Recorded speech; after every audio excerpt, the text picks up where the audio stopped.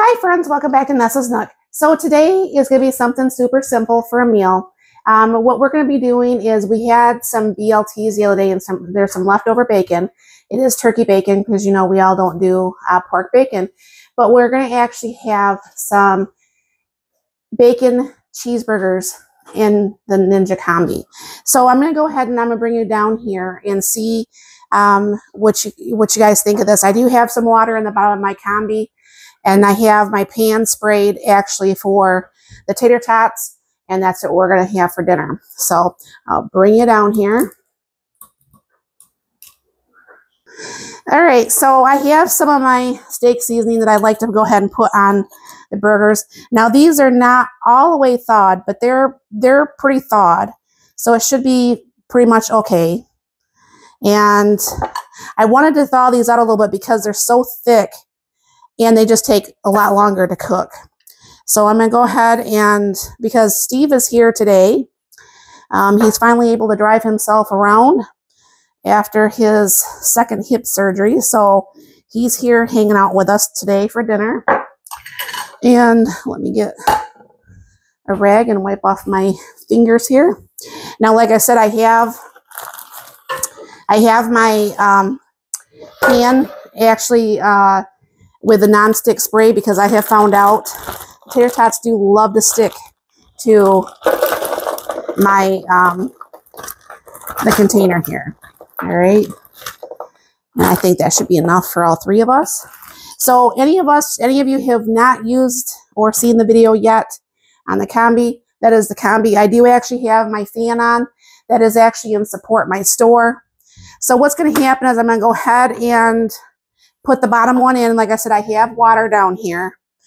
Anytime that you are cooking for 15 minutes and lower, you put about a half a cup of water. Anything over 15 minutes, you put in a cup of water. So I have that set in here like this. Now, anything that's on this right-hand side, like the air fry, that's when it's down here. When it's on the left side, everything is here. And I want to do the Combi Crisp. But I want to do that at, well, that's what I was going to do. Combi Crisp for 350 I'm going to go ahead and just hit start. What happens is these lines will line up for a little bit till this heats up on the inside. Meanwhile, that fan, because um, the steam will come out, it'll go underneath here instead of my cabinets. And um, we'll get that going. And this will be hardly no time at all before this is ready. Um, for those who have been watching me, I have a different earpiece or a microphone. You're going to have to let me know if you think you hear me better with this one or my old one. And what do you guys think? And that's the one I'll be used. But I'll be back um, at dinner time here. All right, so I did run the hamburgers a few more minutes because, like I said, it was actually uh, still a little bit frozen, and they are really super thick, but they're done now. So I put the cheese on there, and then what I did is I took some of my uh, diced uh, dehydrated onions, and that's what I like ketchup and onions. And then just to let you know, 350 at 15 minutes gives you some really super nice brown crispy bacon. So go ahead and put my burger together here. This is the boys' plates. All right, I'm going to go ahead and put some of my onions. So these kind of onions are kind of like when you use them this way, they're kind of like the onions like you would get like on a Big Mac type onion. And I just like ketchup and onions on mine, but I'm going to go ahead and throw a piece of, couple pieces of bacon on there.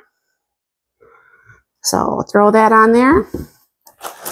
And the boys are going to make their own because they know how they want it. And of course, I don't have this camera down very far.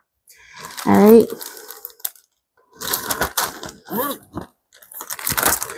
And then I go ahead and take a couple pieces of bacon.